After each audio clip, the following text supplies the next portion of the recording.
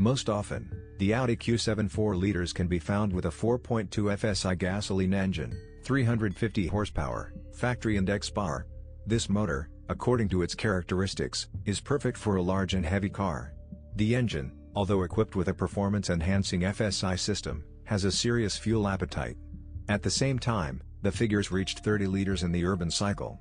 But these are not the only weaknesses of this motor. In addition to gasoline, he is still madly in love with oil, albeit in smaller volumes, but still the lubricant consumption is normal up to 700 grams, and often reaches 1.5 liters per thousand kilometers. The main reason for the high oil burn is the cylinder block with scoring. But the worst thing is that it is very expensive to repair a problem motor, even for a wealthy owner of such a car. Therefore, when choosing a used Audi Q7 with a 4.2 FSI engine, you need to carefully consider the oil consumption indicator. The most civilian 3.6 FSI engine, 280 horsepower, factory index BHK, is good in this regard.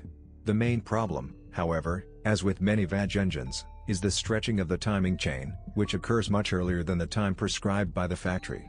Usually, by 100,000 kilometers, the chain already needs to be changed. As for the second most popular engine, this unit is diesel, with a volume of 3 liters, 3.0 TDI. This power unit existed with different settings, in dozens of upgraded versions, and had several fixed power settings, 211, BUN, CASP, 224, CATA, 233, BUG, 240, CASA, CCMA, and 245, CJGD, CLZB, CRCA, horsepower. Depending on the year of manufacture of the car, the power and factory index, along with settings and upgrades, were constantly changing. The motor is quite patient with our fuel, but a problem with the intake manifold can decently spoil the nerves of car owners with such engines. Wedging dampers, and their wear, are manifested by unstable operation, twitching, increased fuel consumption, and a luminous garland of errors on the instrument panel. It is treated, only by replacing it with a new collector. The Diesel 8, with a volume of 4.2, is good in all aspects, 326 horsepower, factory index BTR, 340 horsepower, factory index CCFA, CCFC. This engine is perfectly suited for traction for a heavy machine while consuming half the fuel than a gasoline engine of the same size.